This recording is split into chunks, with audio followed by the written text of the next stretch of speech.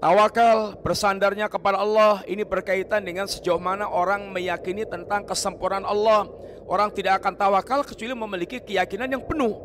Kita ini tidak akan mewakilkan pekerjaan untuk bisa betul-betul kita merasa tenang dan tentram kecuali kepada orang yang ahlinya, yang pakarnya, yang kita percaya betul.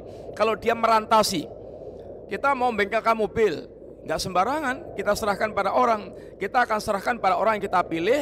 Kita yakin dia ada orang pakar ahli bisa merantasi dalam perbaikan mobil.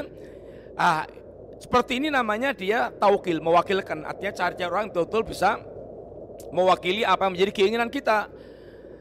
Ah sehingga bersandarnya kita kepada Allah tawakal itu ini adalah buah keyakinan yang totalitas tentang Allah berkaitan dengan kesempurnaan Allah Subhanahu wa taala. Bagaimana orang akan tawakal kalau dia tidak meyakini tentang Allah, kalau dia tidak kalau dia tidak memiliki rasa kiapa pengagungan yang totalitas kesempurnaan Allah Subhanahu wa taala.